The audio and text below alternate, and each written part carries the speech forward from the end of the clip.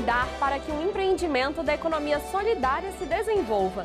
Com esse objetivo, as universidades brasileiras criaram as chamadas incubadoras e até o final deste ano, cerca de 20 milhões de reais vão ser investidos em cooperativas e associações por todo o país. Veja agora na reportagem.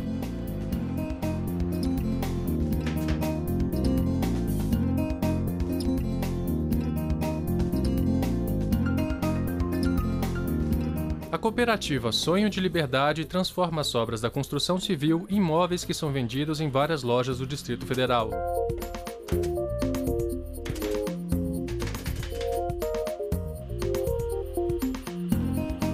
Localizada na cidade estrutural, uma comunidade carente próxima do centro de Brasília, o projeto emprega 100 funcionários.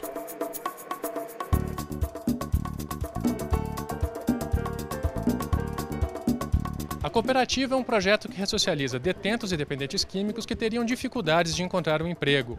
Esse é apenas um dos mil empreendimentos apoiados pelo Proninc, programa do governo federal que vai investir 20 milhões de reais até o fim de 2015.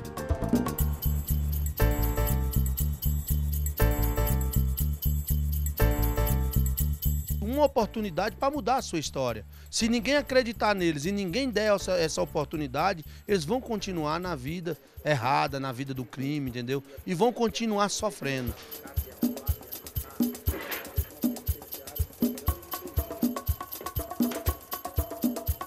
Cada funcionário recebe cerca de mil reais para fazer a recuperação e transformação da madeira.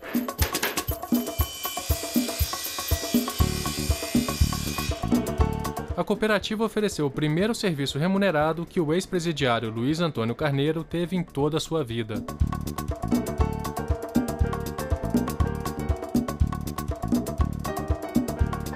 O sonho da liberdade me deu um trabalho, arrumei uma carta de emprego para mim trabalhar aqui. E através do trabalho aqui eu recebo um salário mínimo, né, que dá para me viver e minha família.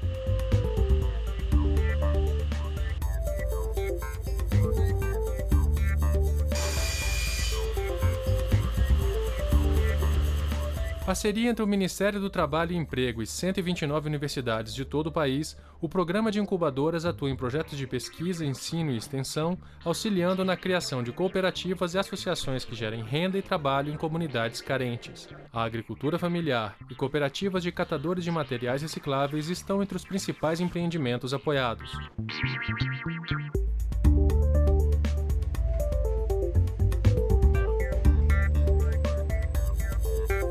Próprio papel e a missão da universidade pública.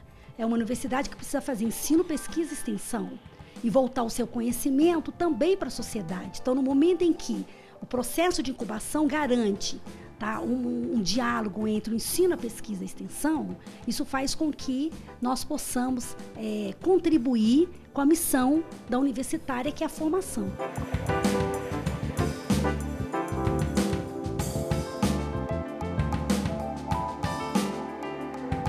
O diretor do Departamento de Estudos e Divulgação da Secretaria Nacional de Economia Solidária destaca que as universidades, por meio das incubadoras, apoiam o desenvolvimento das economias locais de acordo com as particularidades de cada região.